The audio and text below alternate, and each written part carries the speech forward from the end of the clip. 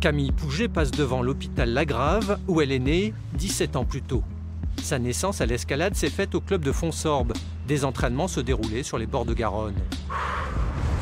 C'est un endroit où, euh, où il y a juste de tout petits espaces pour poser les pieds. Et en fait, ça aide pour la précision de la pose de pied.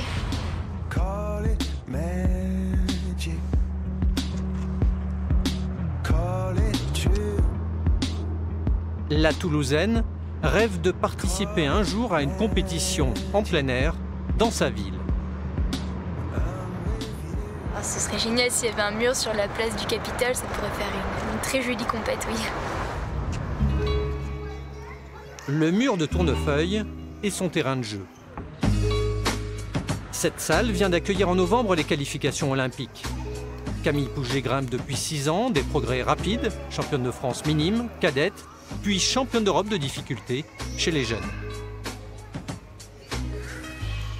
Moi, ce qui me plaît dans l'escalade, c'est euh, la sensation d'être en hauteur. On, a juste à respirer, profiter, ça vide complètement l'esprit en fait. Et de se retrouver tout seul là-haut, c'est c'est ça qui fait que j'adore autant l'escalade, je pense.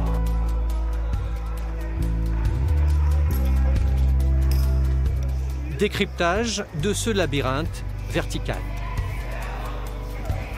Dans l'escalade, il y a plusieurs types de prises. Ça, par exemple, c'est une réglette.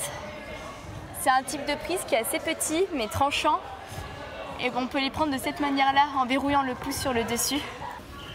Puis on peut faire des mouvements un peu plus dynamiques pour réchauffer euh, un peu les cuisses.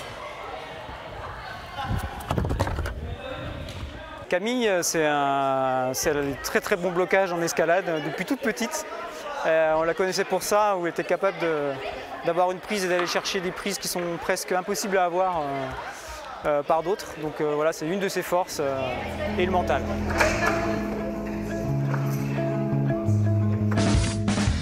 Championnat de France, compétition internationale, sa collection de dossards s'affiche sur le placard de sa chambre. Les compétitions, elles se sont enchaînées. C'était d'abord euh, départementales, puis régionales, nationales, puis après des sélections en équipe de France. Donc euh, non, c'est pas quelque chose dont je pensais en me mettant à l'escalade. Mais bon, maintenant, j'ai qu'une envie, c'est continuer encore là-dedans. 6 ans à défier la gravité, autant d'années à s'exercer au piano, Camille passe avec plaisir du vertical au clavier horizontal. En faire une séance par semaine, euh, c'est bien pour, euh, pour décontracter un peu les doigts après une séance d'escalade.